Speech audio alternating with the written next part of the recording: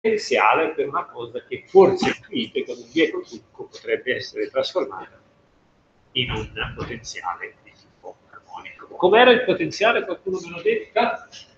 Eh, un mezzo n a mezzo quadro. Eh, per... Perché vediamo se forse il blu si scrive meglio.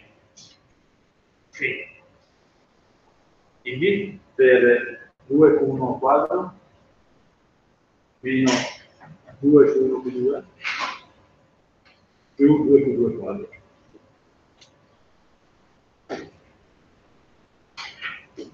Ok? E questo non è un potenziale separabile, nel senso che possiamo scrivere come somma di 1 più 2. A qualcuno è venuto in mente qualche cosa? Bene, allora siete in due, chi vuole... Eh, tu sei stata prima a alzare la mano, quindi a te l'onore, a te l'onore, vieni. Certo.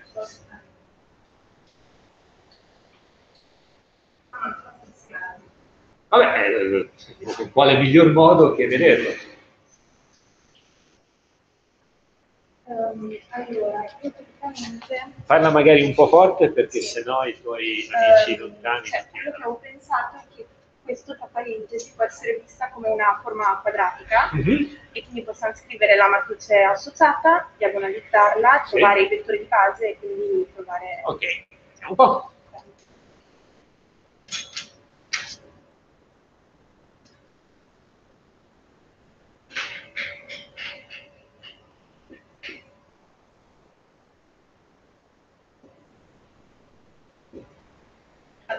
Matrice associata, Mhm. eh, dopodiché per diagonalizzarla scriviamo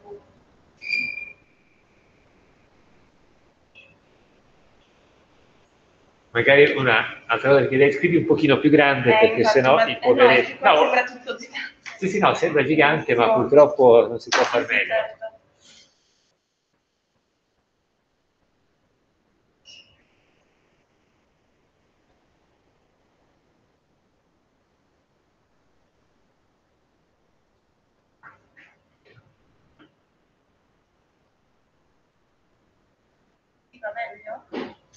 Chiedi, ragazzi, siete soddisfatti della grafica? No, è 2 più 2 quadro. Ah, sì. Ah, ecco, infatti c'era un eh, io non sapevo. Ok. Eh, nessuno... Nessuno si lamenta, quindi, Se ragazzi. riesco a scrivere un pelino ancora più grande sarebbe meglio. Ok.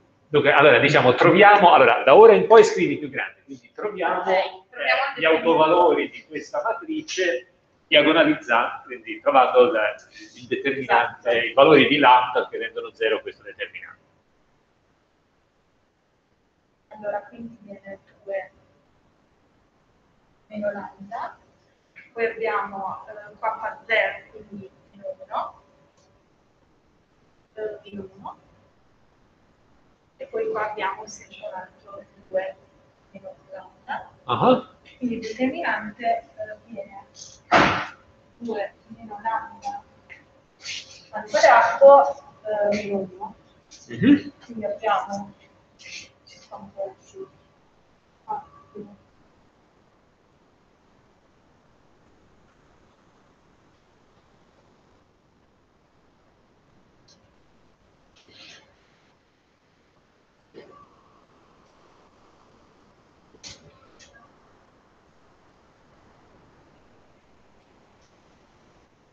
Quindi a questo punto Quindi, diciamo, forse non, la, non leggete, ma insomma c'è scritto che i due autovalori sono 1 e 3.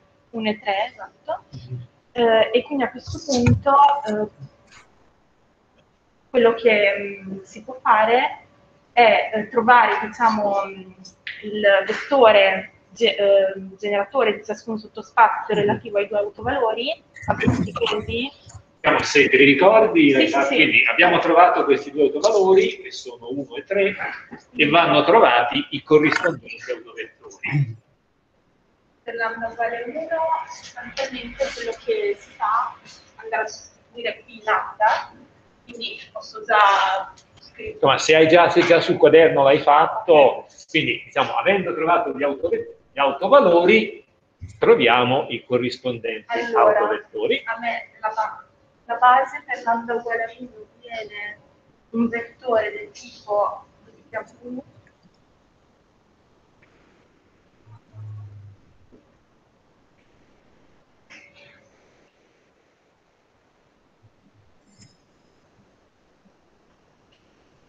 E quindi una è la somma e una è la differenza Esatto. dei due. I due autovalori sono scritti in termini di Q1 e Q2, sono Q1 primo, possiamo chiamarlo Q1 più Q2 e Q2 primo, Q1 Esatto. meno Q2. E A questo quindi, punto A questo punto sostanzialmente abbiamo diciamo, trovato la forma diagonale del nostro potenziale perché Mhm. semplicemente sarà eh, 1, 2 sarà un mezzo m omega al quadrato per 1 quadro, 3 al quadro e qua dove questi sono le nuove variabili, quindi Sì, esatto, qualunque segno che identifica le variabili nuove. Allora, un dubbio che avevo avuto a partire da questo punto era che comunque, cioè, se io cambio diciamo, coordinate nello spazio delle coordinate, chiaramente dovranno anche cambiare l'impulso, cioè l'impulso varierà. E quindi essenzialmente eh, quello che avevo pensato di fare eh, era di scrivermi quindi la trasformazione diciamo, che ho ottenuto, cioè non so se vada bene però perché sono andata a recuperarlo sui vecchi appunti, tipo calcolare lo jacobiano, fare l'inverso, il trasposto, cioè Ma, dunque, facciamola più semplice, ma il commento è molto, è molto, è molto, è molto calzante. Cioè, questa è una dinamica hamiltoniana che deve rimanere una dinamica eh, hamiltoniana. Perché se questo è vero, cioè una, una trasformazione valida la puoi sempre fare, però non puoi applicare tutte le proprietà di una hamiltoniana se ciò che ottieni non è una hamiltoniana. E quindi devi assicurarti che avendo definito due nuovi eh, variabili che possiamo chiamare 1, eh, scrivo qua, uno primo che supponiamo sia questo, Sì, esatto. 1 più Q2, lasciami normalizzare, diviso 2, e Q2 primo, che è la differenza di 1 meno 2 diviso radice 2, quello che devi fare, devi trovare due nuove variabili coniugate, che sono i 1 primo e Eh, io appunto le ho primo. trovate. allora, la cosa più semplice, si fa in tanti modi Sì, diversi, sì. il modo semplice è dire queste saranno delle combinazioni lineari Sì, di uno e di esatto, due sì, che sì. soddisfano i commutatori canonici. Certo. E quindi diciamo che questa la puoi scrivere A per più P per 2, questa la potresti scrivere C per più D per 2, dove queste sono quattro costanti, e devi assicurarti che tutti sicuramente Q1 primo, Q2 primo va 0 come deve. Sicuramente, poiché le P sono combinazioni di altre P, I, I primo, il PJ P1 primo e Sì, P2 sì, primo faranno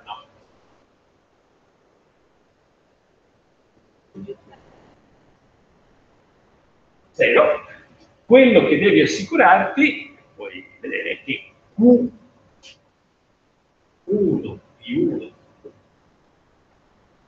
eh, faccia tagliato Q2 primo di 2 primo faccia H tagliato e infine che eh, Q1 2 faccia, quindi se vuoi puoi Sì, sì. Ah, ok. quindi Ok. essenzialmente tu, eh, queste sono garantite perché le tue LT sono chiaramente. A questo punto hai eh, vuoi, quattro condizioni Sì, che ti permettono di fissare questi quattro, questi quattro oggetti. Dopodiché, fatto questo, dovresti riscrivere la Miltoniana Eh, infatti io l'ho fatto, cioè, Sì, io sì, ho fatto questo procedimento Sì, sì, però usando un altro Esatto, metodo. in un modo o in un altro, diciamo adesso questo è un modo più Certo, eh, ruspante, sì. ma in un caso semplice più, più facilmente gestibile. Eh, a questo punto eh, riscrivi la nuova Miltoniana, Miltoniana in termini delle variabili Certo. prime, allora per il potenziale l'hai già scritto Eh, cioè, io quelle costanti comunque le avevo determinate, sì, sì, sì, quindi a questo punto dicio eh, nel senso che, allora, eh, P1 primo, sì, no, anzi, P1, cioè questo, il P che compare nell'Hamiltoniano originale, quindi quindi la trasformazione opposta, hai fatto la trasformazione opposta, Sì. sì, sì, quindi dillo, quindi è, eh, è uguale a P1 primo Sì. più P2 primo e P2 mi viene P1 primo meno P2 primo. Meno, esatto. E quindi poi quando lo si va a sostituire nell'hamiltoniana, Sì, sì. cioè si ottiene beh, la forma Quindi la, la miltoniana quadratica continua a Esatto. essere quadratica perché i due esatto, prodotti si si, annullano. si annullano, cosa e quindi a questo punto abbiamo ottenuto un nuovo oscillatore armonico, un nuovo sistema di due oscillatori armonici, uno nella variabile 1, uno nella variabile Esatto. 2, con eh, frequenze che nel caso sono omega quadro, nell'altro caso Esatto. frequenze quadre e, e quindi i livelli energetici di questo oggetto saranno E, N1 e N2 che saranno H tagliato omega N1 mezzo più radice di 3 H tagliato omega in N più un mezzo e quindi saranno stati che in generale non saranno, non saranno mai degeneri perché frequenze sono, sono eh, rapporti razionali tra di loro e quindi, e quindi comunque avremo tutta una struttura a livelli che è una somma di due scalette, la scaletta con L1 e la scaletta con i gradini dilatati di N2. Bene, grazie mille, sì, quindi è chiaro che eh, di trucchi di questo tipo, voglio dire, sui libri ce ne sono decine, eh, la metodologia di principio, quella è, quella rimane, e vabbè, quindi è chiaro che qualunque forma quadratica eh, la potete sempre eh, diagonalizzare, come appunto è stato proposto nell'esercizio altra alla lavagna, e quindi eh, in generale un potenziale quadrato, quadratico può essere sempre visto come una somma, combinazione di oscillatori. Eh, ovviamente queste due dimensioni, in tre eh, sarebbe la, la stessa cosa, eh, in tre dimensioni, e eh, vabbè, potete, o qualche altro, credo che domani avete altre due esercitazioni, qualche altro esercizio lo potete fare. Dunque, tu avevi pure fatto l'esercizio, avevi seguito la stessa strada o una strada diversa? No, una strada, una strada completamente diversa in realtà. E quindi magari puoi raccontarcelo. Eh, sì, direi che è sbagliato però. Io, Eh, perché avevo provato a trasformarlo in un oscillatore armonico in tre dimensioni, no? perché eh, potevo risolvere diciamo, un quadrato e quindi diciamo, dentro le parentesi aver ottenuto 1 quadrato più 2 quadro più la differenza al quadrato. E quello gli assegnavo un altro nome, Q3, Mhm. e così ottenevo diciamo armonico in tre dimensioni.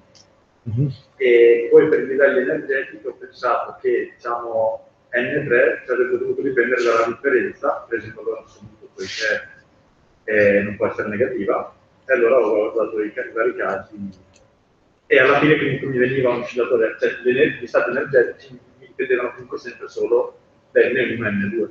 Ah, ti dipendevano in maniera corretta o in maniera scorretta, perché è chiaro che tu Q3 non è una variabile, è una funzione di due variabili note, ha una dinamica indipendente. Quindi, vabbè, comunque, insomma, sbagliando si impara. Va bene, quindi diciamo che in un paio di giorni siamo passati da una dimensione, che è un caso chiaramente didattico, scolastico, in cui si possono derivare tanti bei teoremi, ma la realtà eh, quasi sempre non è. Cose interessanti, ci sia stato solito, sono di dimensioni ridotte, ma in generale la, molta fisica si fa, ahimè, in tre dimensioni, per fortuna sono solo tre, fossero quattro sarebbe difficile, e quindi eh, andiamo in tre dimensioni. In tre dimensioni eh, si può fare anche in due, ma diciamo c'è un'altra bestia che eh, ha un'interessantissima eh, che è molto coltivata nel mondo della meccanica quantistica, che si chiama, secondo voi, come si potrebbe chiamare? Si potrebbe chiamare il momento angolare. Il momento angolare è definito classicamente come prodotto vettoriale di di P, come eh, E eh, è molto utile scrivere così la componente iesima è epsilon i j uj i k. Questa notazione vi è nota o vi è ignota? Quindi questa è una, la notazione tensoriale con gli indici ijk che vanno da 1 e 3, poi y, z come vi piace a voi. Eh, I termini eh, indici ripetuti si considerano sommati senza scriverci la somma davanti e epsilon di jk è quella cosa che vale 1 solo se eh, eh, i j e k, il tensore completamente antisimmetrico, vale 1 se i j e k sono tutti diversi da loro eh, e, eh, e, se gli indici messi in fila, diciamo 1, 2, 3, ci girate intorno e, eh, e sono eh, in ordine, allora vale più 1, se invece fossero 1, 3, 2, e ci girate nell'altro verso, allora sono i segni, il tensore vale meno 1. Questo diciamo vedete, è chiaro, vi è noto, è noto. Benissimo. Allora, intanto eh, c'è un primo problema. Eh, cosa, allora, noi aspettiamo che, essendo il momento angolare una cosa che si misura in biciclette e attrezzi affini, sia un osservabile. Dunque deve essere un operatore eh, eh, autoaggiunto. Bene, allora uso questa espressione qui e quindi ottengo che n di croce è epsilon j k p k j. Ok? Dunque è diverso da MI perché due P commutano fra di loro. Allora che facciamo? Rinunciamo a studiare il momento angolare oppure, e quindi le biciclette siamo sicuri che non sono quantistiche oppure avete altri suggerimenti?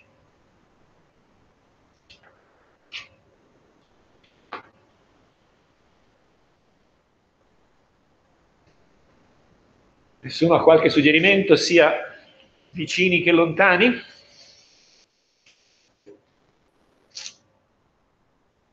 Allora, la risposta è che questo è solo apparentemente diverso da quello, perché eh, posso riscrivere così, n di croce è uguale a epsilon di jk che moltiplica Vj di k. Eh, più il K commutatore. D'accordo? Allora, questo quanto vale? Questo vale meno i H tagliato delta Kj. La delta Kj moltiplicato per epsilon di J fa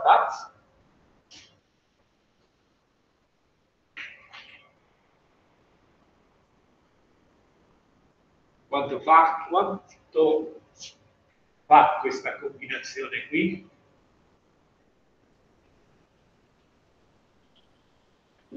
Si intende sommata su J e K. Quanto fa?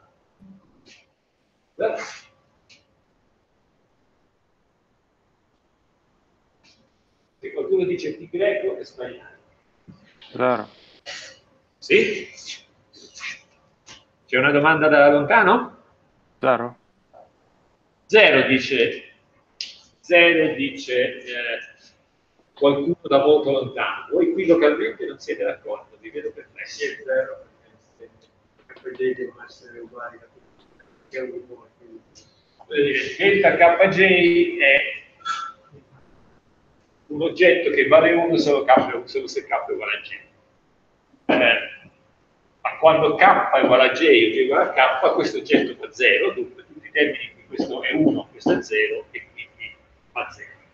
In realtà c'è anche una- un modo più generale che dice la stessa cosa. Questo è un tensore perfettamente simmetrico e questo è un tensore completamente simmetrico. Quindi quando ho qui, anche se non fosse, questo se volete un termine generale, il prodotto di un tensore completamente simmetrico uno completamente antisimmetrico farà sempre 0, semplicemente perché tutte le volte che qui ho due termini scambiati che sono uguali per simmetria, qui ho gli stessi due termini eh, scambiati che sono opposti e dunque questo pezzo è inutile mettercelo e questa cosa è, è, è equivalente dire di K e quindi N1, NI croce è uguale a NI e dunque eh, l'operatore momento angolare è un operatore autoaggiunto, quindi vuol dire che potremmo avere eh, biciclette quantistiche, ruote di biciclette quantistiche, anche biciclette stesse. Voi lo sapete, lo sapreste raccontare perché le biciclette stanno in piedi? Eh? Per, perché dipende da, mm, dai momenti di inerzia delle due ruote. E per uno dei due tanto, mm, perché dato che l'asse di inerzia eh, tende a mantenere la sua posizione poiché eh, uno c'è l'asse principale è molto maggiore rispetto altri due e tende a mantenere la sua posizione perché se noi lo, so- lo sollecitiamo serve una grande forza per poterlo spostare di nuovo. E quindi mi stai dicendo che, te- che la bicicletta sta in piedi perché le ruote girano? Cioè,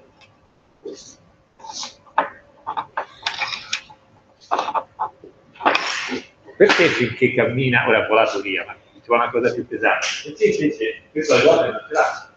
Quindi finché cammina sta in piedi. Ok.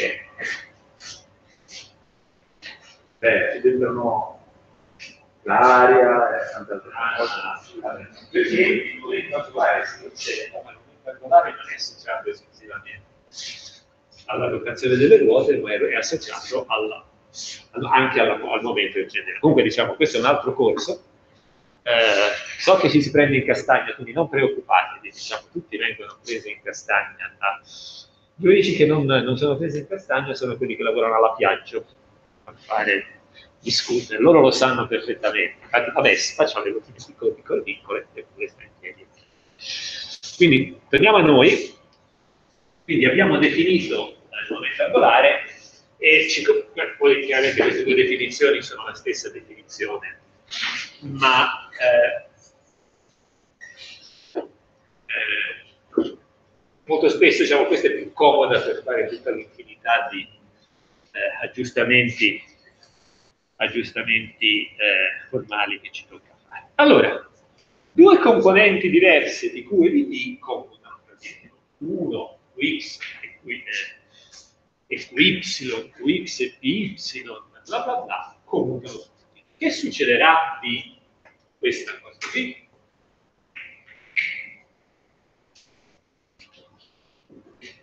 invece questo è, eh, scriviamo qui questo no? ed è uguale allora quanto farà?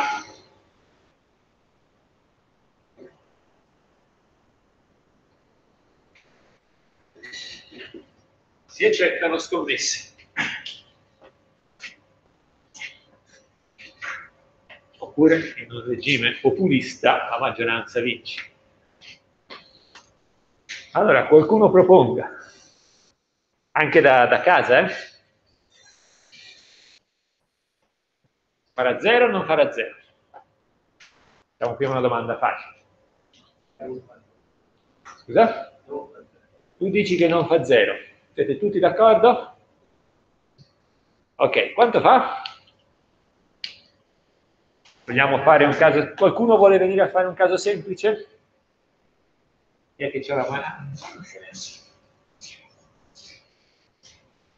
Disgraziato sempre. La manchetta. Eh, no, eh, però, dai. Facciamo il mix con il mix. Dai. Il computatore è il mix. La prima definizione. Eh beh, facciamo proprio un'operazione passo passo, qui ci scrivi x, qui ci scrivi y. O uno, due, insomma, come volete voi. Allora, questa sembra essere la definizione.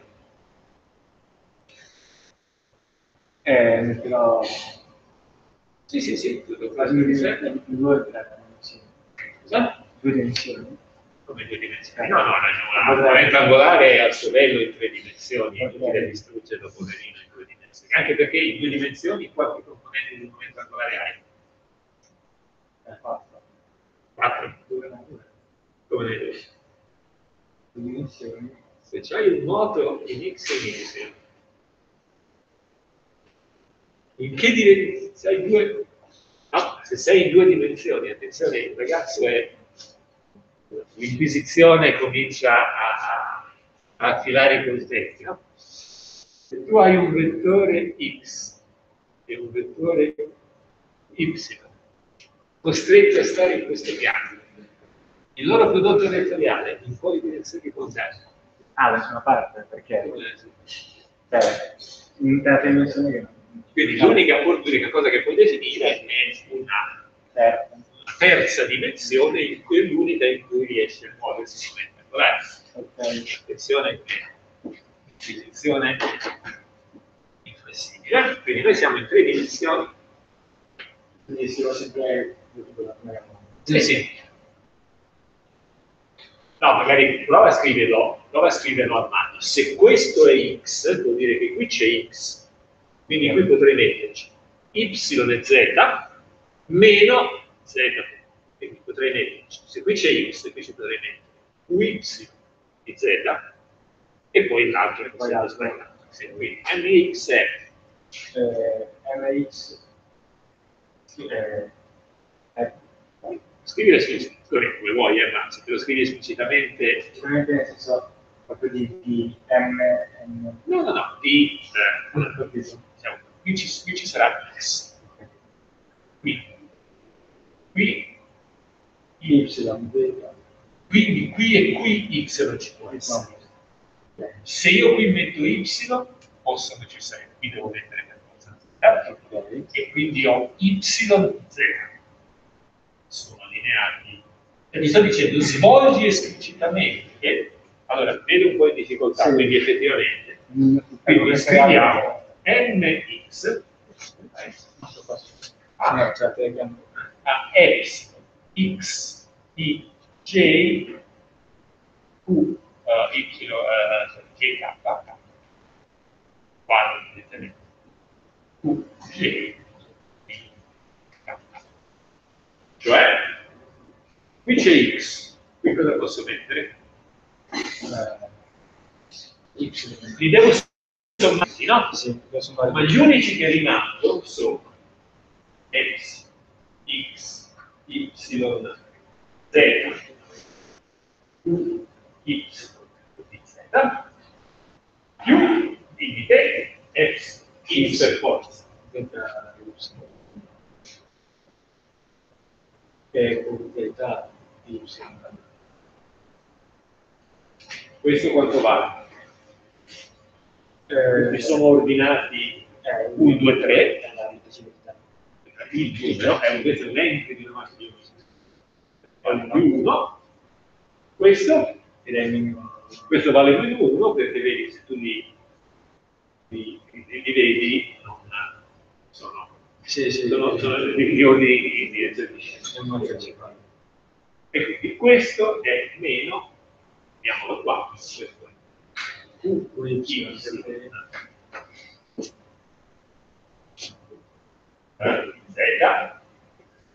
meno di z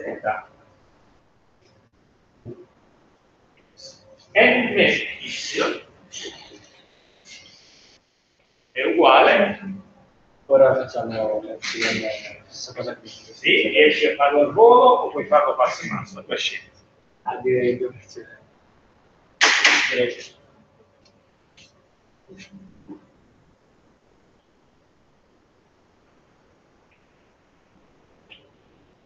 semplicemente rimettendo Dove, per, per, per- dove? allora, qui è questo, allora, allora, intanto scrivi prima tu e poi T perché ogni caso eh, anch'io ho sbagliato. Ah, e chiaramente abbiamo sbagliato sopra, quindi questo è Y, Z meno Z. Scusate, abbiamo fatto confusione. Quello di sotto, NY, è il ragionamento è lo stesso, solo Sì. che questa volta abbiamo x, diciamo, e Qui abbiamo un Y. y a j k, quindi direi analogo prima, però sempre, sempre quello mio. Uno sarà col più e uno sarà col meno. eh, vai, quello giusto col più e quello giusto col meno. Ma fallo pure passo passo. Sì, direi, io direi così, Sì. perché eh, per esempio abbiamo detto di prima, Mhm. quindi qua Q delta, e eh, Quindi QZ di X meno, meno X. E quindi queste sono le due definizioni di MX e di MY. Adesso si tratta di, eh, ma secondo me piuttosto che scrivere questo, ti conviene scrivere queste due quantità nelle parentesi quadre del commutatore e poi pezzo pezzo Ah, vedere che paretto hanno. va bene, allora qua. E sostituisci lì scrivi QY di Z meno Z di Y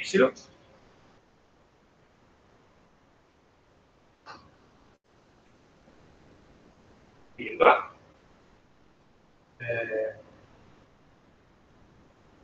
scrivo così così, mi segni tutti bene.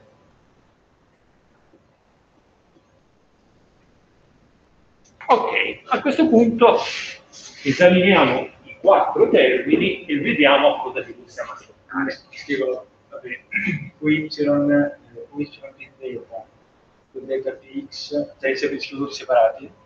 Ti conviene, allora, cominciamo a scriverli separati. Allora, questo ce lo mettiamo perché vedi che c'è un Z, perché un con Z, quindi non farà 0, quindi intanto seguiamo.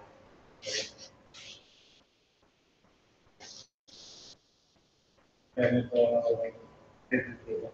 di virgola, eh, Q delta, Adesso dovremmo prendere questo con questo. È il caso di metterlo o lo possiamo eh, di delta di delta da 0, quindi no. E QY, QX, e Y, QY, quindi lo vediamo. Adesso prendiamo questo. Questo è il caso di mettere, Eh, abbiamo fatto stesso ragionamento per quello di prima. Abbiamo fatto questo per questo e l'abbiamo.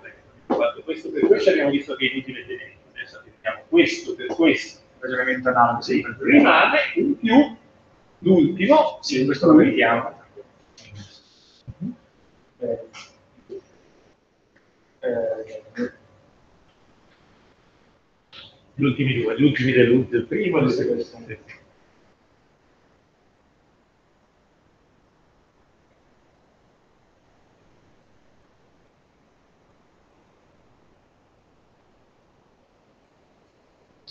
Questo. Ok, a questo punto vediamo che cosa può venire fuori. Allora, qua eh, QY, QD, Cioè devo applicare proprietà, tutte le proprietà Allora, di... diciamo, le puoi applicare con la rapidità che- con cui ti senti in grado di farlo. Ovviamente, Ehm, provo a fare un attimo, vediamo se riesco veloce. Eh, ordinato, comunque eh, sarebbe il delta eh,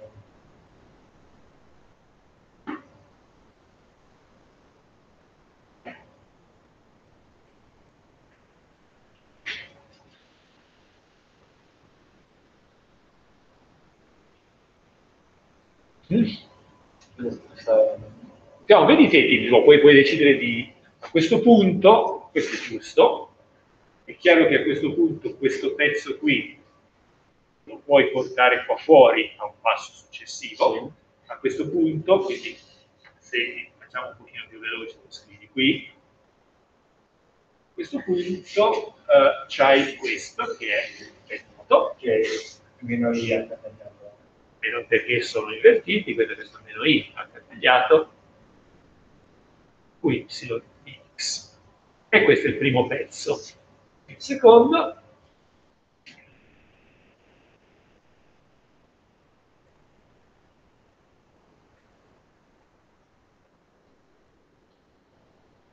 però py qx eh, ci interessa, no? Py qx comunque contano. Gli unici termini che, non- che devono rimanere Ah, dentro eh, sono- quelli con qz e pz.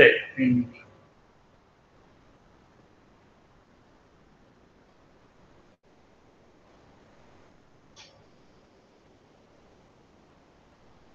però sì. Questo tecnicamente sarebbero invertiti, no, questi sarebbero invertiti, ma non importa perché tanto contano. Comunque tanto per eleganza, sì. quindi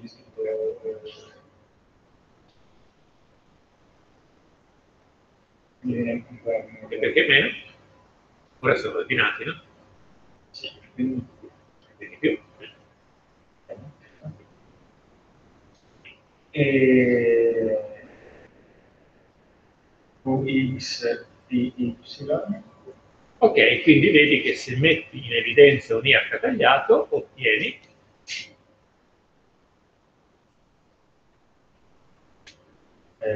Qx Y meno Y. Che guarda caso si chiama eh, era il commutatore tra no? No, non è un commutatore perché sono cose diverse, ma voglio dire, allo stesso modo in cui mx è questo, my è questo, questo cos'è?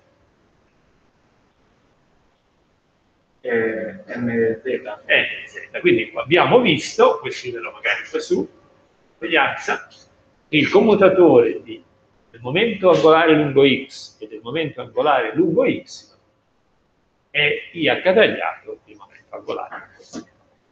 Ok, grazie. Questo H ci deve essere perché eh, ovviamente qui c'è un quadrato, N, è il quadrato di due momenti angolari, quindi la dimensione è del momento angolare quadrato, la dimensione del H tagliato ha proprio le dimensioni del momento angolare, casomai non ci aveste pensato, è un pulso per una lunghezza, quindi è un momento angolare, e quindi il risultato è che mx, commutatore mx, fa IH tagliato mz. Potete provarli tutti e quello che scoprirete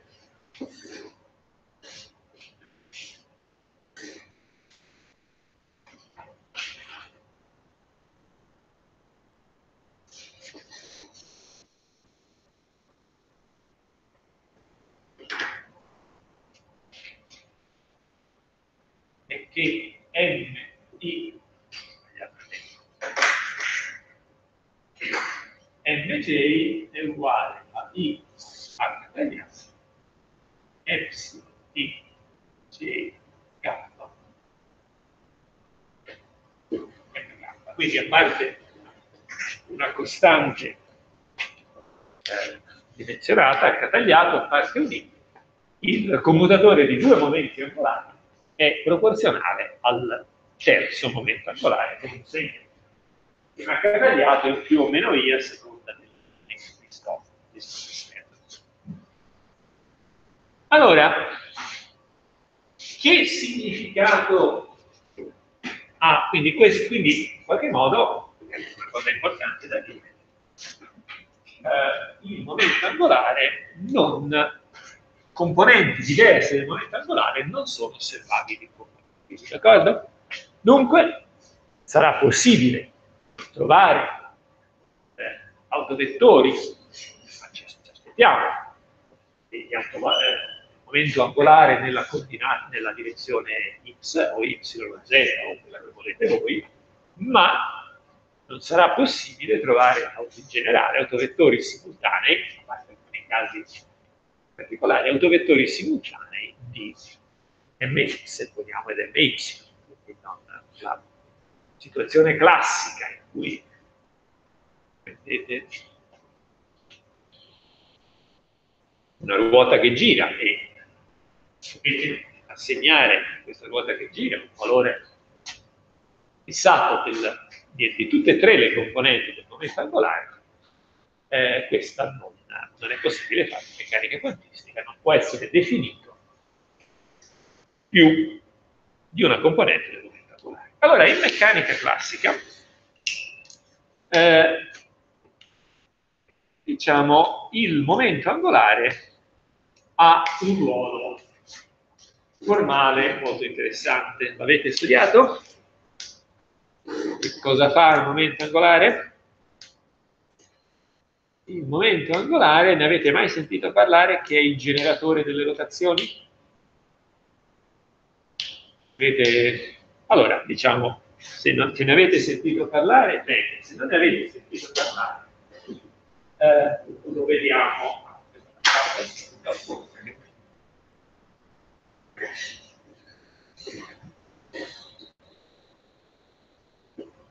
Ok? Quindi supponiamo di chiedere, dunque, il concetto che le parentesi di Poisson, che esistono generatori di trasformazioni, l'avete mai ascoltato nella vostra storia passata?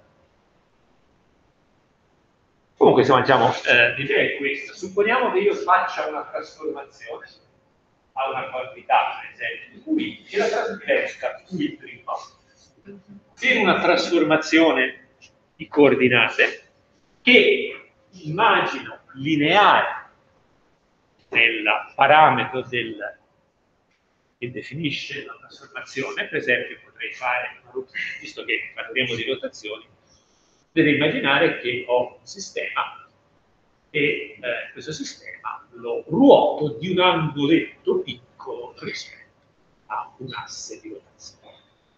Allora, teoria mi dice che esistono, se queste trasformazioni sono trasformazioni canoniche, esistono dei eh, oggetti che si chiamano, chiamiamo epsilon, la, il parametro infinitesimo che definisce la rotazione, per esempio un altro.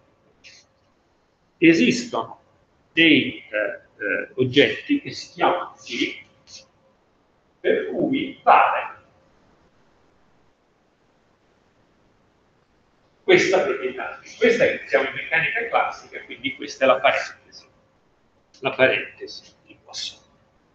Ok? Quindi ogni, se volete, eh, allo stesso modo in cui ogni trasformazione che conserva i commutatori in meccanica quantistica, l'abbiamo visto prima, è associata a una trasformazione unitaria, in meccanica classica eh, ad ogni trasformazione delle Q e delle T che è canonica, viene associata un generatore che, che genera la trasformazione appunto in questo. Allora, il generatore delle rotazioni intorno a un asse è il momento angolare rispetto nel caso delle rotazioni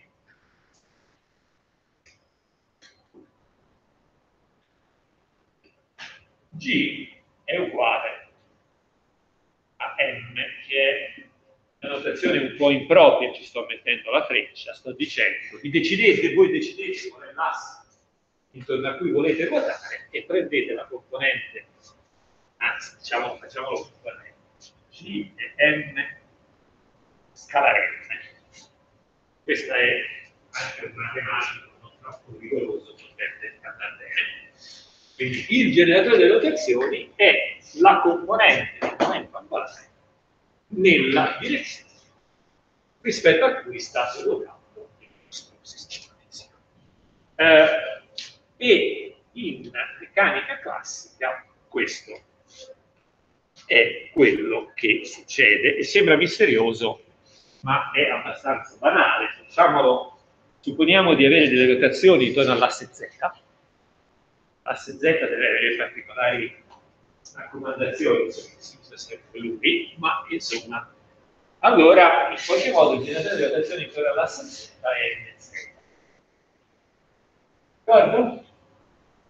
Eh, che avevamo che tu ci hai scritto prima quindi che è? Eh, scrivo y invece che qy per semplificarmi la vita. Y in z meno z y ok?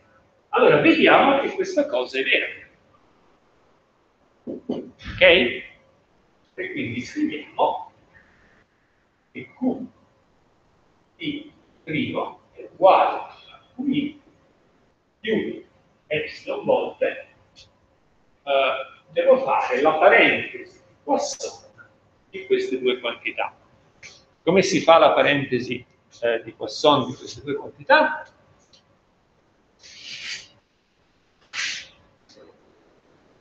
Ricordate la definizione?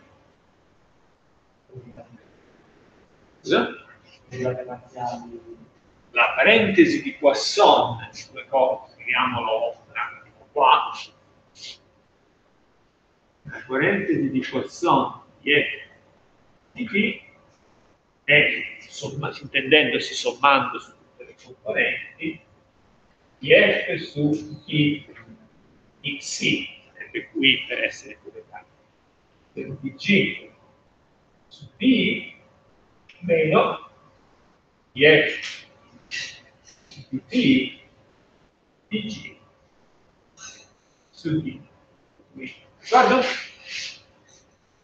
piace? E quindi scriviamo questa cosa. Adesso dovrei scriverci, come io sto facendo la parentesi di quel somma.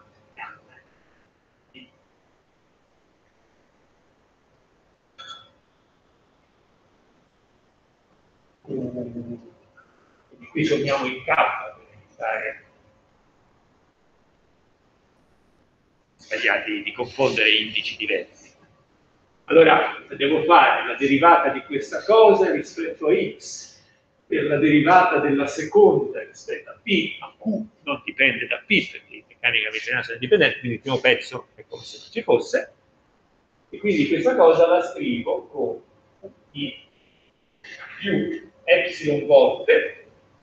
Allora, la derivata di g, che nel nostro caso è qui, rispetto a QK è delta di K.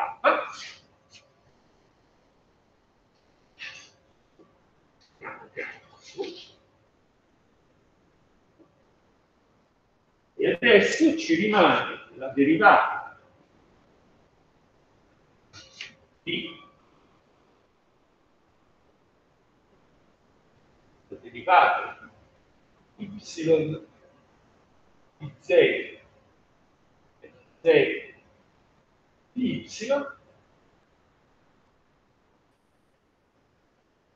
vedremo una X questa uh, di Y di uh, differente uh, Y no abbiamo sbagliato completamente. Fase Z è X Y e y. Chiaro? Tutti d'accordo? Perché non l'avete detto prima? Ah, Ok? Quindi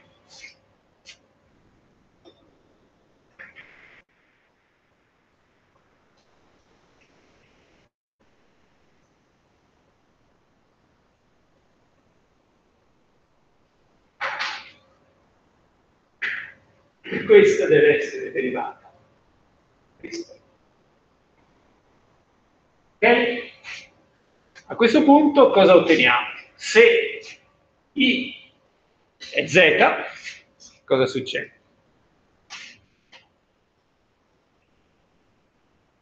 Se ruotate intorno all'asse z, cosa vi aspettate che cambi la, la variabile z?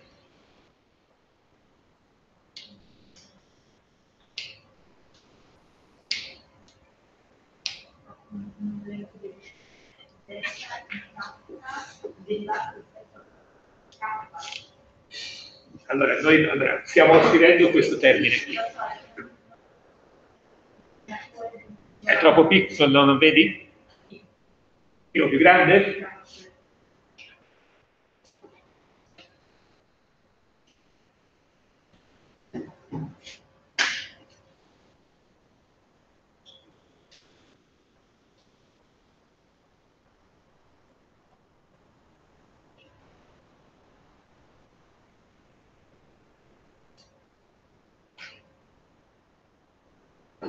Piace?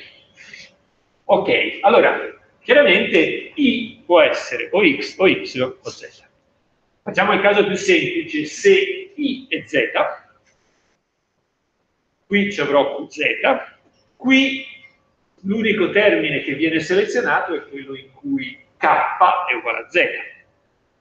Ma siccome questa espressione non dipende da z, in questo mi dice che Q Z' è uguale Z, ve lo potevate aspettare, ruotare intorno all'asse Z non cambia la coordinata Z. Ok? A questo punto facciamo invece Q'X. Qx è Qx più epsilon a questo punto eh, ho la derivata eh, rispetto, l'unica derivata che torna è la derivata rispetto a x, che trovo qui, e che vale meno y.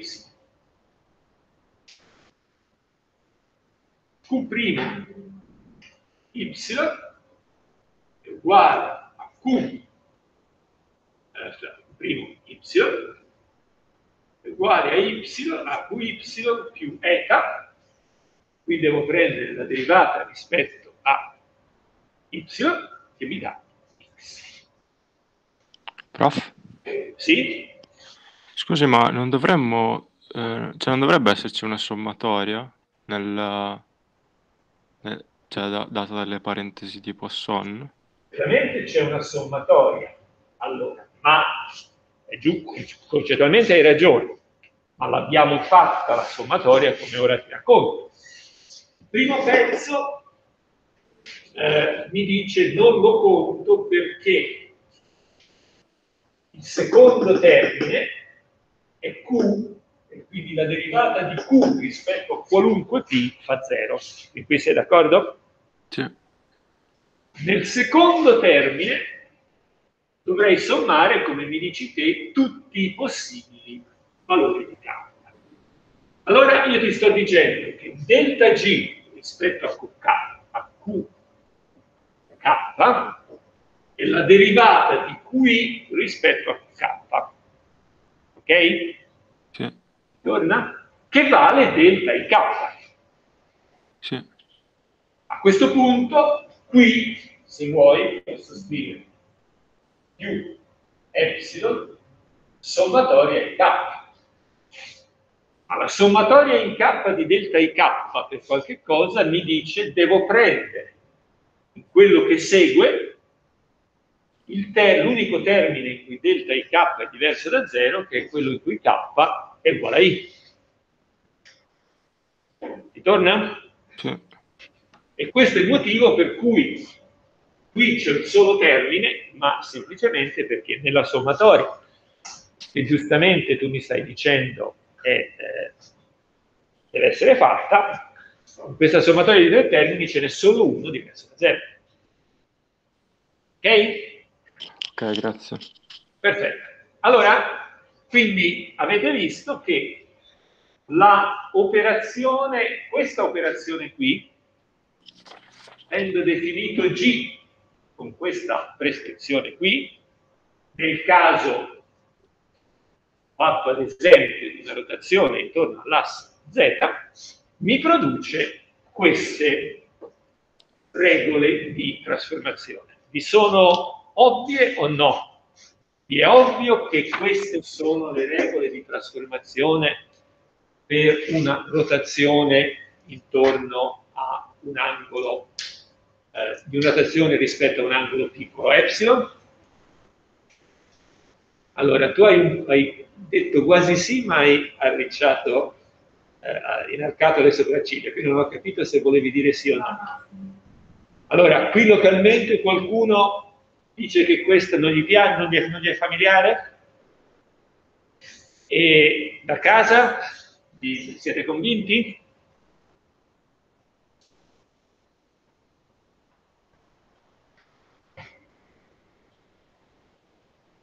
Ok, quindi vi ho eh, fatto vedere che nel formalismo eh, hamiltoniano classico delle trasformazioni canoniche a ogni trasformazione canonica è associato un generatore che genera, per così dire, la eh, trasformazione,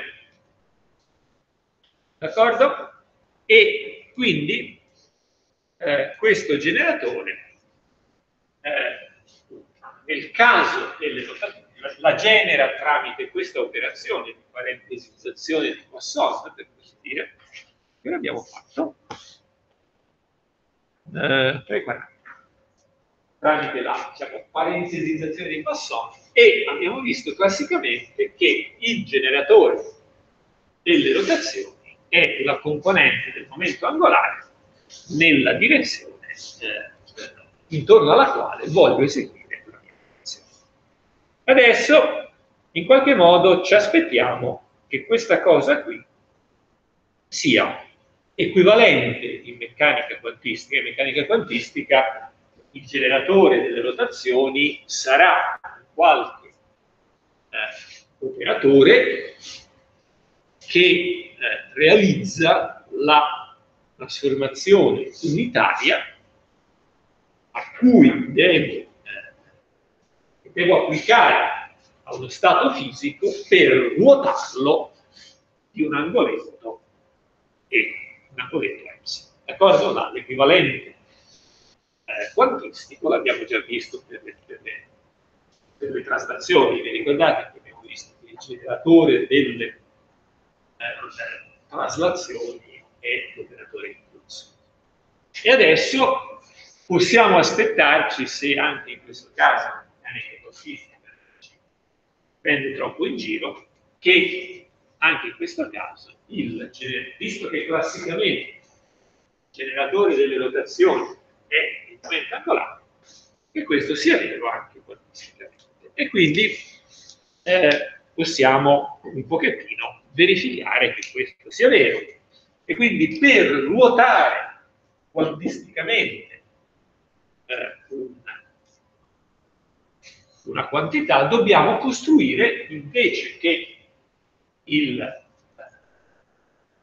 la parentesi di Poisson classica, visto che stiamo parlando di operatori, dobbiamo, eh, visto che questi operatori devono poi operare sullo stato per votarlo, allora possiamo immaginare di calcolarci, se volete, mz eh, per eh, mz per eh, qi mutatore classico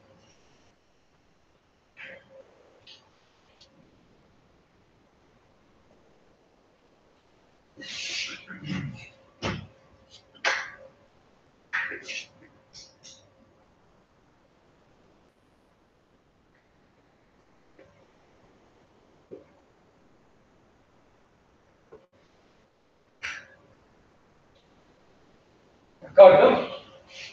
Allora, quindi scriviamoci il nostro z che è Ux di y e di y Qx QI. Allora, intanto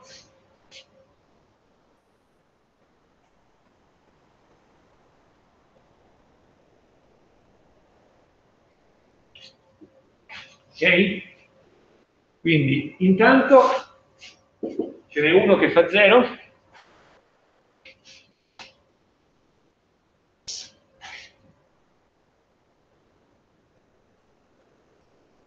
questi i e x, y z. Di questi tre ce n'è uno che fa 0?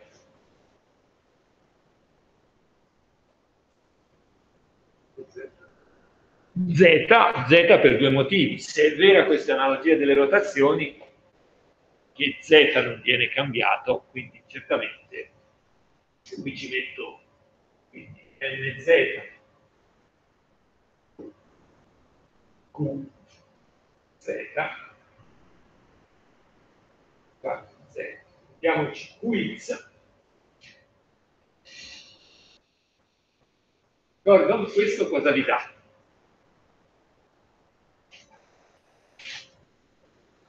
Cosa vi dà? mzqx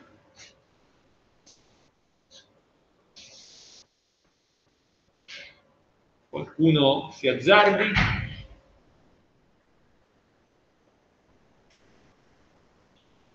Allora, il commutatore di questo con questo fa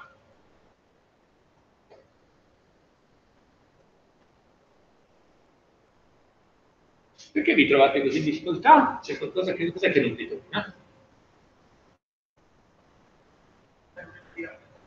Scusa, parla un po' di cosa? Dunque, non può fare un meno i tagliato. Allora, questo con questo cosa fa? Questo fa 0. Questo con questo fa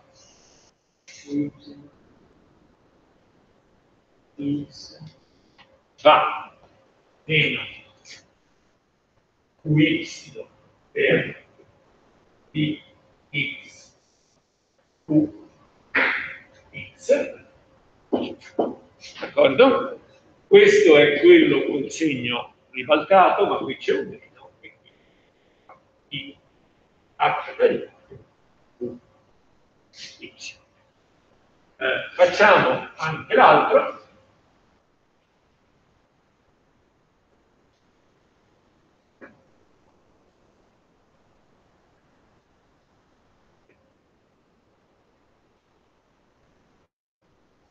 E questo cosa fa?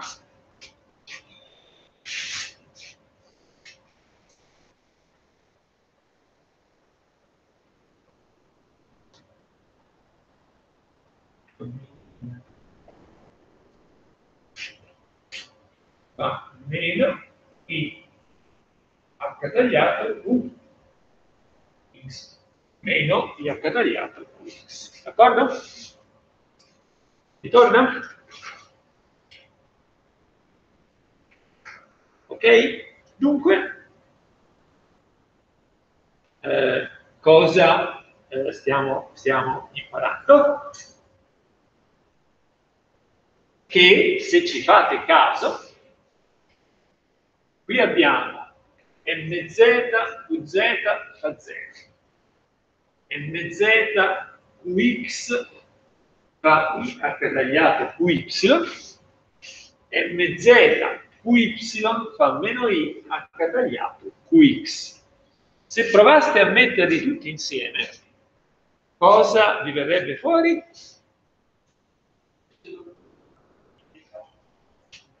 Che m i QJ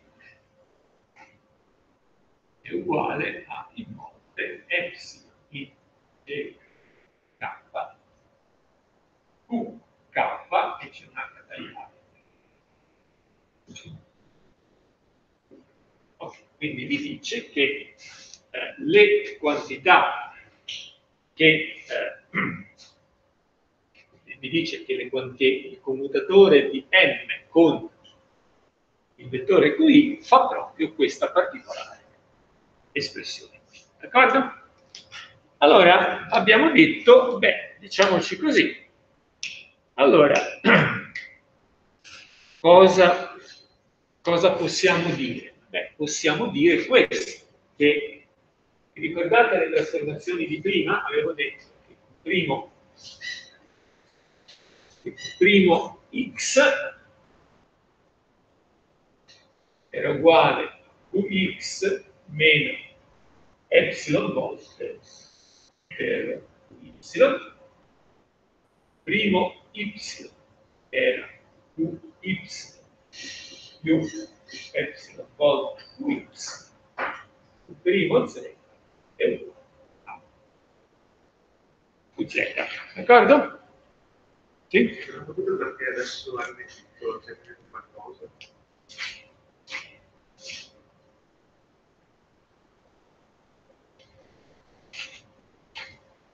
piace di più? Benissimo. Quindi, cosa, se vogliamo mettere insieme queste due cose, cosa dobbiamo dire? Dobbiamo dire che quantisticamente Q' I, quindi la rotazione è 1 più una qualche costante moltiplica mz qui, d'accordo? E questa costante deve essere, questo deve essere uguale a 1 più epsilon volte mz qui. Ma al posto di mz qui, come vedete, c'è, questo deve essere uguale più c per i. Questa cosa è uguale a c per i h tagliato, perché mz qui fa proprio i h tagliato per il corrispondente, corrispondente Q. D'accordo? Dunque, eh, C che moltiplica I H tagliato deve fare epsilon dunque C è uguale a meno I eh, è uguale a meno I meno I per 1 su, dovete meno i sono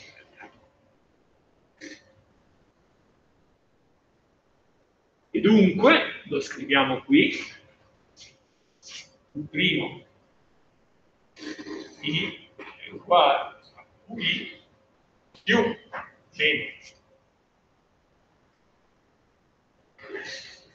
Eh, diciamo così, se volete, il generatore delle rotazioni, possiamo scrivere meno i epsilon su h tagliato per g. D'accordo? Quindi questo è il, eh, se volete, questo è il, sì?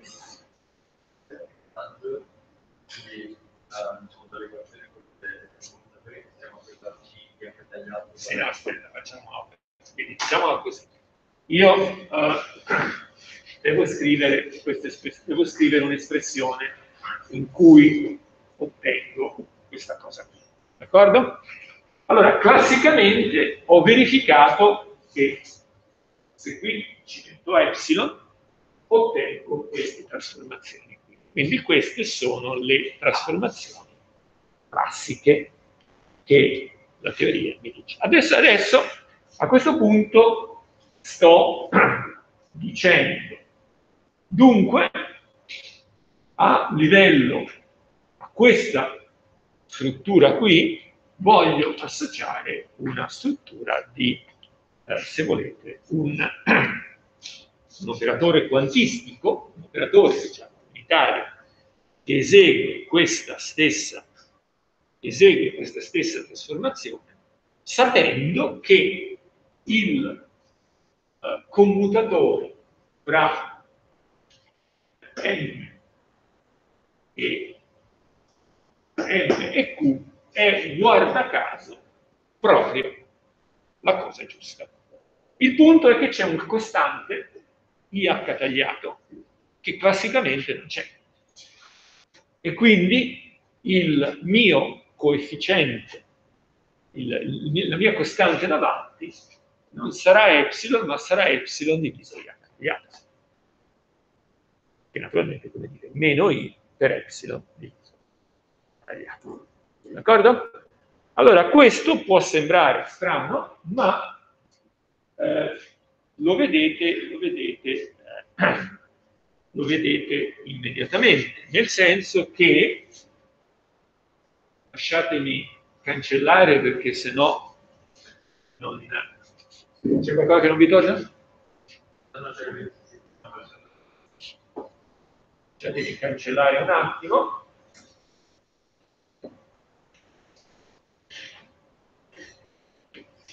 e verifichiamo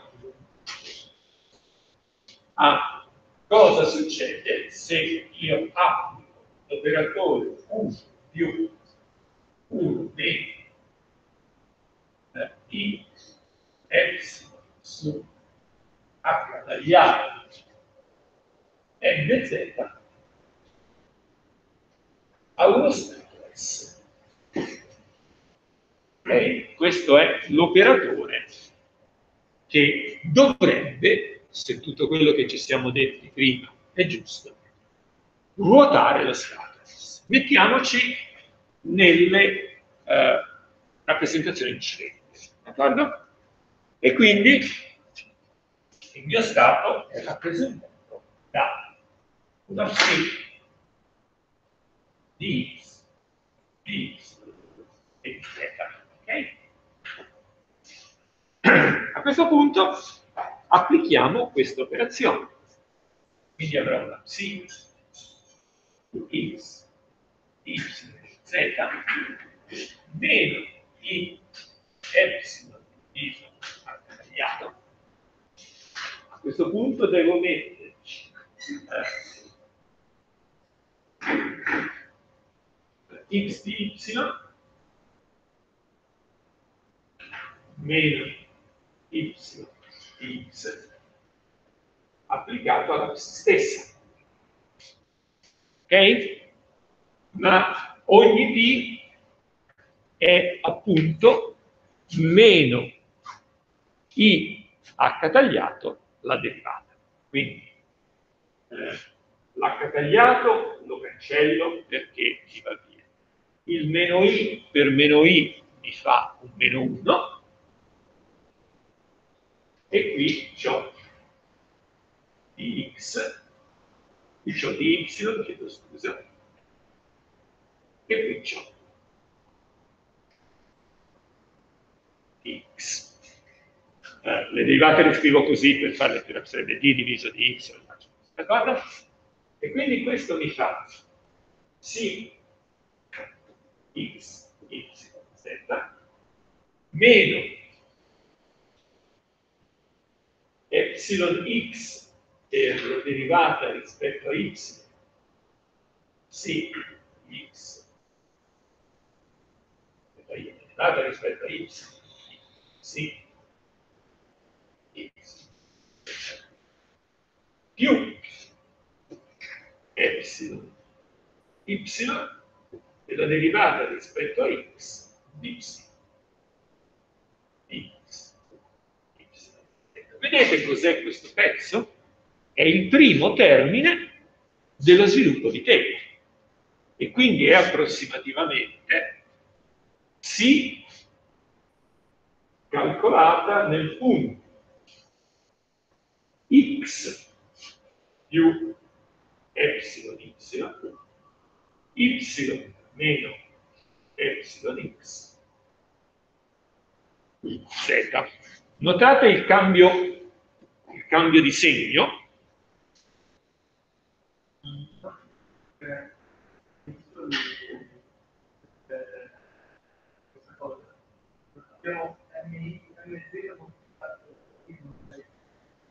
e non NZ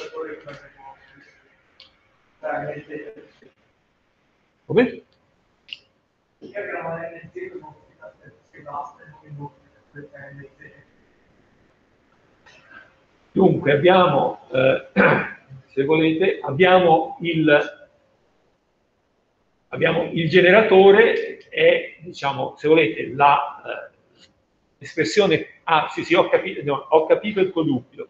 Allora, è una questione leggermente complicata, te la, te la- ve la racconto la prossima volta in dettaglio perché è un punto chiave, diciamo, dei generatori in generale. Per il momento, diciamo, abbi fiducia per oggi e la prossima volta ti racconto la questione. Comunque, se hai fiducia in me, per oggi abbila. Eh, sì, Scusi, cosa hanno chiesto che non si è sentito? hanno chiesto perché qui c'è M e non c'è il commutatore di M con Q. Ah, ok, grazie. La prima volta te la, la- la racconto in dettaglio. Allora, eh, per il momento andiamo avanti e eh, cosa otteniamo? Otteniamo questa espressione qui che è, questo è il primo termine dello sviluppo in serie. Eh, quello che notare il cambiamento di segno, qui c'era meno e c'è diventato più, qui c'era più e c'era diventato meno, questo lo capite, supponiamo che questo sia l'asse xy, supponiamo che la funzione d'onda sia grande qui, se io è piccola qua, se io ruoto il sistema così, la mia funzione deve diventare grande qui dove lo era prima là e quindi la- le coordinate devono essere, devono essere scambiate. Non so se il disegno specifica la questione. Ok, quindi eh, a questo punto abbiamo, eh, abbiamo in qualche modo visto che il, eh, questa cosa genera le rotazioni, nel senso che otteniamo che la eh, per l'operatore che eh, l'operatore che eh, mi- mi- mi induce una rotazione intorno all'asse Z è appunto questa particolare, eh, questa particolare, questa particolare, eh, questa particolare, se volete, eh, combinazione del momento angolare e di questi altri. Eh, vi intuite, senza entrarci in dettaglio, che la stessa cosa sarà vera se invece che ruotare il momento angolare, invece di ruotare la coordinata, ruotassi il pulsar. E che quindi vi potreste aspettare che poiché tutto questo era figlio di questo commutatore, che voleva dire I rispetto di K, eh, K, intuirete anche, ma potete verificarlo esplicitamente, avete scritto prima, così, e MIJ uguale a I di K H tagliato, scrivo qui, di K e così via. Per tutti gli oggetti che sono vettori, quindi in particolare già l'avevamo visto, MI di uguale a I epsilon di J.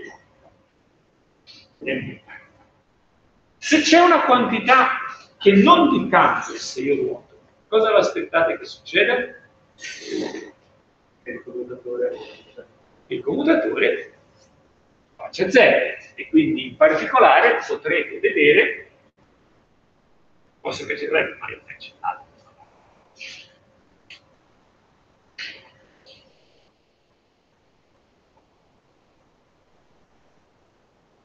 in particolare potrete vedere che MI quadro uguale a MI quadro è uguale a MI n quadro ed è uguale a 0. Questo lo potete vedere esplicitamente. Eh, diciamo, vediamo il primo. Questo diventa MI UL UL.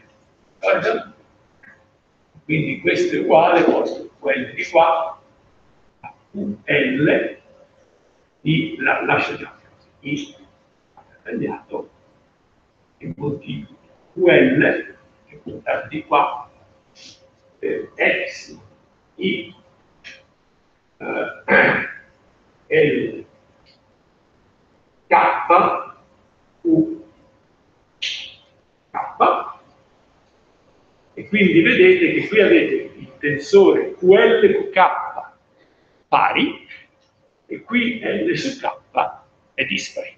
Analogamente, quando prendete quest'altro lo mettete dall'altra parte, più simmetrico. Diciamo. E quindi per, è essenzialmente dovuto al fatto che qui avete sempre strutture simmetriche che si moltiplicano secondo le persone. D'accordo? E quindi in particolare questo, questo, questo fanno 0 e tutti gli altri cosiddetti scalanti fanno 0. In particolare questo vi dice che mentre non è possibile avere una base di autovettori compatibili di mx ed my, invece è possibile avere una base di autovettori compatibili di m quadro, è possibile trovare degli autovettori, degli stati che sono autovettori simultanei.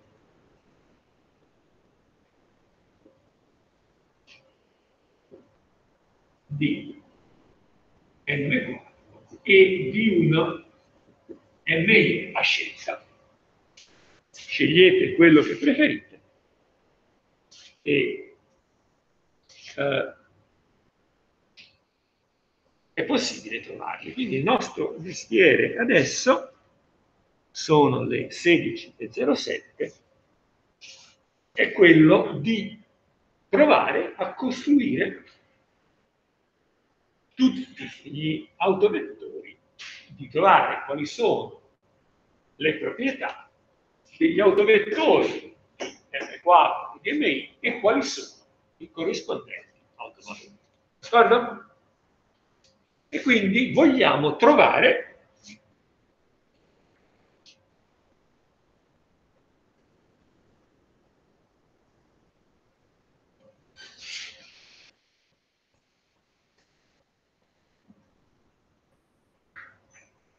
dobbiamo trovare degli stati che chiameremo uguali ed n. Ok? E allora decidiamo che l'm che ci interessa è mz, tanto se mai chiediamo in qualche modo l'mz ha avuto un nella storia della meccanica quantistica e cosa possiamo più identificare. E quindi noi vogliamo degli stati così tanti che mz applicato a questo stato. Produce lo stato stesso m. E qui ci moltiplico m ed h tagliato. La mia scelta di mettere un h tagliato così dimensionale. Vorrà dire che questo numerino qui sarà adimensionale. Analogamente m quadro applicato al quadro m. Mi darà il numero di un quadro per h tagliato per un quadro di d'accordo? Quindi naturalmente il mio obiettivo è di trovare quali sono i valori possibili per eh, V quadro ed M. Quindi quali sono gli autovalori, quali sono gli autovettori, che degenerazioni hanno, tutte queste belle cose che ormai fanno parte del gioco uh, della meccanica quantistica. Allora, qui si può adottare un trucco che abbiamo già adottato nel caso dello sciatore armonico, che è quello, indovinate voi, di fare che?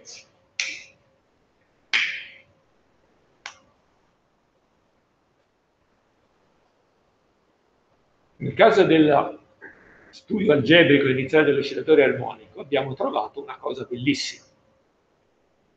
Cosa abbiamo trovato?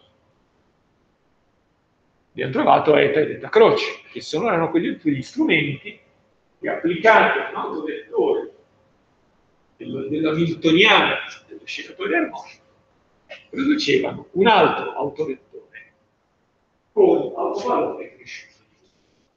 E qui c'è qualcosa di analogo, solo che si chiamano m più ed m meno. Allora, m più è mx più i my m meno è mx meno my. Cosa c'hanno di bello questi due, questi due eh, oggetti che se io prendo M3, MZ,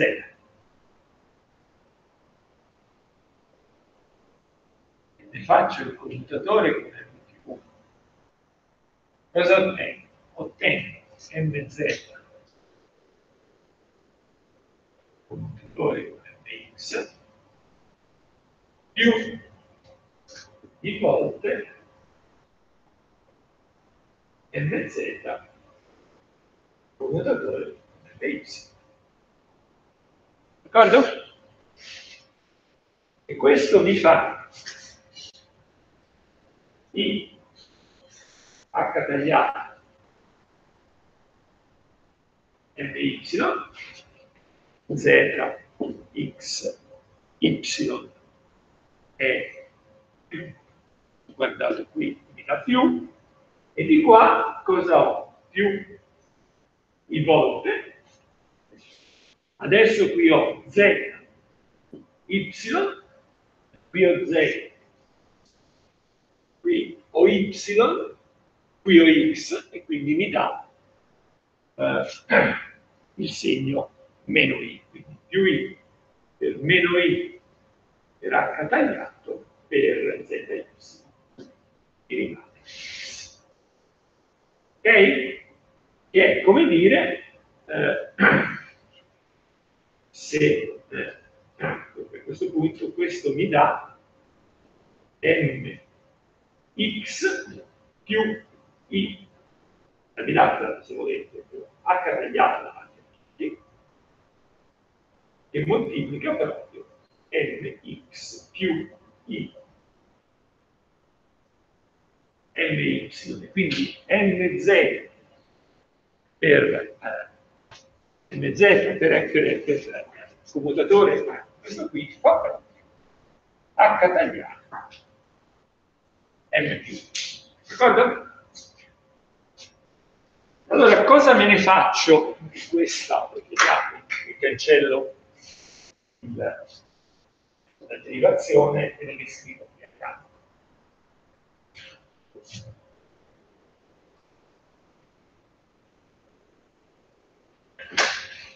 Ah, un'altra cosa che potete guardare è che se invece fa m quadro m più questo fa 0 fa 0 perché questa è una combinazione di mx ed my e dunque allora cosa eh, se invece provate a fare mz m meno otterrete meno h tagliato invece fare esattamente la stessa sequenza. E allora cosa vuol dire? Vuol dire che se io ho uno stato di questo tipo, che so che un autovettore di mz con autovalore n, nel della meccanica quantistica degli h tagliati ci si dimentica, si dice che questo è un autovettore di mz con autovalore n, ovviamente si intende in unità, in unità di h tagliato. D'accordo? Allora, supponiamo che questo sia vero, allora supponiamo di applicare mz a m più di uno stato v4 m, allora naturalmente questo qui lo possiamo scrivere come m più. Mz applicato a v4 m ho semplicemente eh, ribaltato più il commutatore. Di M0 M più applicato allo stato. 4. Questo mi porta fuori un M, questo è uguale a M H tagliato M più. Quadro M, il commutatore è scritto qui e questo mi dà più H tagliato per M più per mu quadro. M, che naturalmente è proprio M più 1 H tagliato legato a M più mu quadro di questa espressione qua sotto, capite che è l'analogo della, questo definisce l'operatore di salita. Se ho uno, ripeto, se ho uno stato autostato di mz con autovalore m, lo stato ottenuto applicando l'operatore m più a quello stato mi darà un nuovo stato che è anche lui un autovettore di mz, ma con l'autovalore cresciuto di 1 nelle unità di tagliato. Immagino che vi sia abbastanza ovvio che se invece di m più ci metto m meno, eh, che succederà? Che la, se invece quindi posso metterci qui un più o meno, e qui ci metto più o meno. E quindi avrò l'operatore di salita e l'operatore di discesa. Quindi questi operatori permettono di salire o di scendere una catena. Quindi intanto ci dice che, ci dice che il momento angolare ha una serie di, per vedere, una serie di autovettori corrispondenti a autovalori che sono, crescono e, crescono e scendono di 1 quindi a questo punto la domanda successiva è se questa somma, questa, questa progressione, continua all'infinito verso l'alto, verso il basso, oppure se è limitata verso l'alto o verso il basso, oppure è limitata sia verso l'alto che verso il basso. Quindi se esiste un range di possibili valori di n eh, che messi come valori di M max più grandi di M max o più minimi di M min non sono possibili, oppure se invece no, l'esponente angolare ha un numero arbitrario di autovalori positivi e negativi. Eh, qui diciamo quindi direi che visto che manca pochi minuti. La domanda per il momento ve la lascio a voi fino alla settimana prossima a ragionarci. Quindi sappiamo che esistono operatori di salita e operatori. Ovviamente se esisterà, se esiste un valore massimo di calcolare ammesso, vorrà dire che l'operatore di salita applicato a quello stato produrrà, produrrà 0. Se esiste un valore minimo di momento angolare, di autovalore di momento angolare ammesso, per dire che l'operatore di discesa applicato a quello stato darà 0. Se questi due limiti non esistono, vuol dire che applicando tante volte quanto vogliamo m più ed m meno, eh, la questione lo otteniamo sempre in nuovi autovettori con autovalori sempre più. Eh, potete cercare di intuire quale possa essere la soluzione, eh, tenendo conto che quello che ci sta veramente a cuore è trovare una struttura di autovalori, autovettori compatibili di M4 e di MZ. Quindi, se volete, la, quale sarebbe, potrebbe essere la risposta intuitiva? Visto che le ruote delle biciclette le posso far andare veloci quanto voglio, mi verrebbe da dire che potrei avere eh, autovalori grandi a piacere. D'altra parte potrei pormi una domanda più sottile. Fissato un valore del, momento, del mod di M4, cioè del momento angolare totale. D'accordo? Se volete, io sto misurando, classica, il momento angolare totale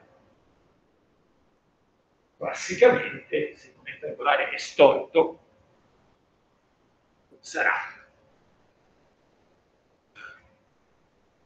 Diciamo, diciamo che questo classicamente si può fare un vettore, questo sia il vettore.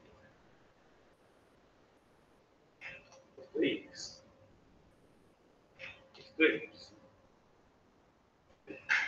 E questo è z. D'accordo? Questo vettore io ve l'ho disegnato orientato così. Uno stesso vettore M4, uno stesso vettore momento angolare che ha lo stesso valore, che ha, che ha lo stesso modulo, classicamente può stare dovunque in questa sfera. Giusto? Quindi se io fisso il valore di M4, quindi la lunghezza del vettore M, potrei aspettarmi classicamente che la componente z sia da tutto, questo lo vuoto qua su, sia, potrei aspettarmi classicamente che mz sia il valore dello CM, oppure posso andare, posso prendere qualunque valore fino a meno il modulo di M. Se questo vettore l'ho ruotato tutto qua giù mantenendo lo giusto. Ok? Quindi dobbiamo vedere se questo, quindi d'altra parte questo M lo posso fare arbitrariamente lungo. Quindi avendo fissato la lunghezza del vettore mi posso aspettare classicamente qualunque proiezione nella direzione Z. La domanda è quantisticamente succede la stessa cosa succede circa la stessa cosa? Beh, intanto abbiamo visto che ci sono scalette di, auto, quindi sembrerebbe che non qualunque proiezione di questo vettore possa andare bene. Inoltre, sembrerebbe, a questo punto, quindi la domanda è, ma allora questa scaletta quanto va? Va da più m a meno m, allora se così è, questo dovrebbe dare un vincolo tra i possibili valori di M4 e i possibili valori di MZ. Questa ve l'ho raccontata in modo esclusivamente intuitivo e eh, la prossima volta, se volete ragionarci un po', cercheremo di vedere sulla base delle proprietà degli operatori di salita e di discesa cosa possiamo dire a livello più formale su questa Analogia. Prima avevamo fatto solo un'analogia classica. Nel caso in cui il mondo è quasi classico, succederà questa cosa qui. Vediamo la prossima volta cosa succede. Avete altre domande? Quindi domani ci sono esercitazioni e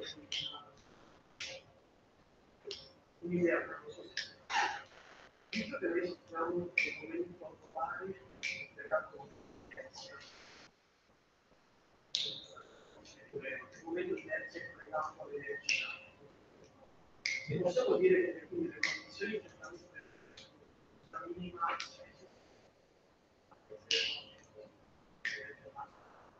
siano già importanti